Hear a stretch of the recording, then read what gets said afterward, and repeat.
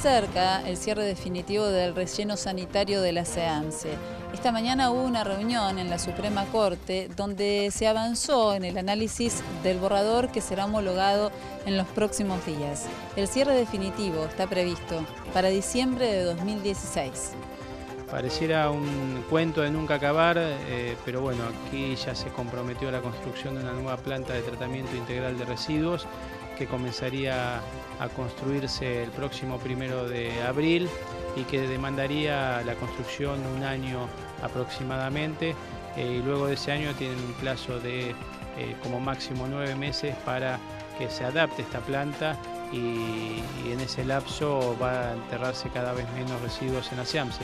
El litigio iniciado por la Asamblea No Más SEAMSE, la ONG Nuevo Ambiente y el Centro Vecinal Punta Lara llegó a la Corte en 2006. A casi 10 años de comenzada la disputa judicial, parece estar llegando a un final en el que todas las partes se ven beneficiadas.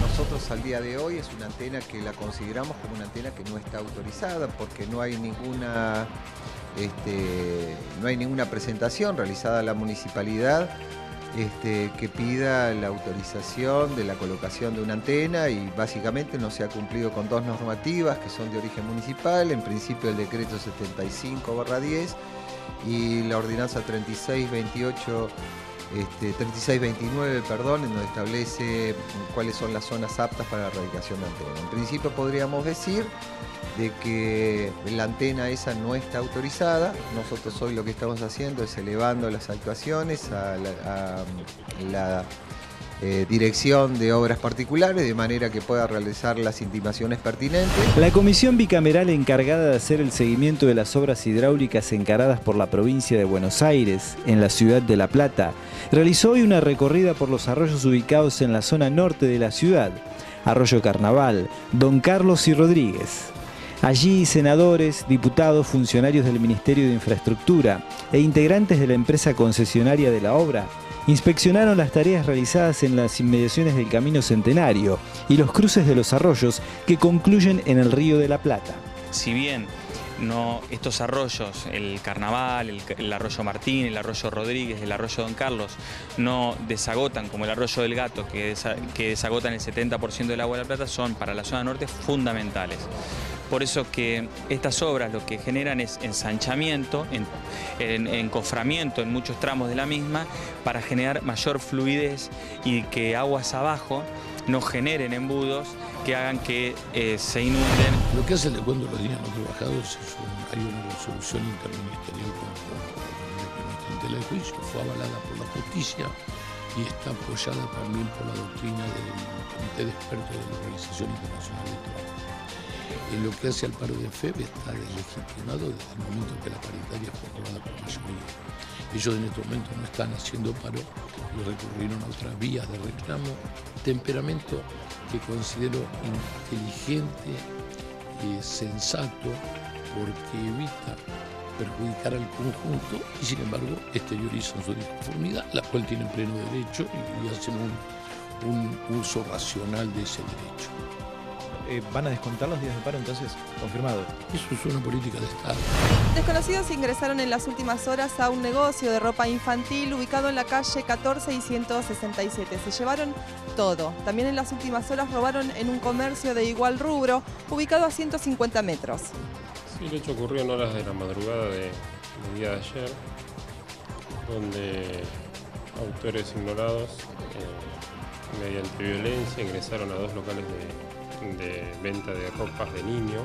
Bueno, ahora tuvimos una reunión con la parte de, policía y de la subsecretaría de seguridad y estamos esperando los resultados eh, puntualmente de las cámaras de seguridad que están trabajando en función de ver qué movimientos pudo haber entre tal hora y tal hora, que es lo que se cree que ocurrieron los hechos. No es un hecho normal, acá ha habido un vehículo de gran porte poder trasladar la cantidad, se hablan de 500 prende un local y algo similar el otro. Obviamente que nosotros creemos que se ha iniciado un proceso electoral que está marcado por los episodios del comienzo del año y una Argentina diferente a partir de la denuncia y la muerte del fiscal Nisman, a partir de la gran movilización popular de una sociedad decidida a pararse sobre su dignidad, defender sus derechos y por lo tanto la política tiene que dar una respuesta a estas cuestiones. Margarita, volviendo al año electoral, eh, Cobos dijo que muchos iban a estar votando radicales por usted. ¿No hay una posibilidad de acercamiento con, con el radical?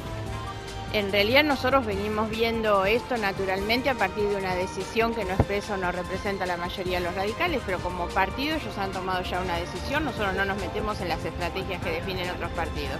Una reflexión de lo que dijo Kicillof ayer. La verdad es que es una vergüenza que el ministro de Economía no conozca las estadísticas de pobreza, significa que no hay ninguna política para eh, erradicar la pobreza, para disminuir la pobreza, lo mismo que cuando niegan la inflación, obviamente porque no hay política para combatirla.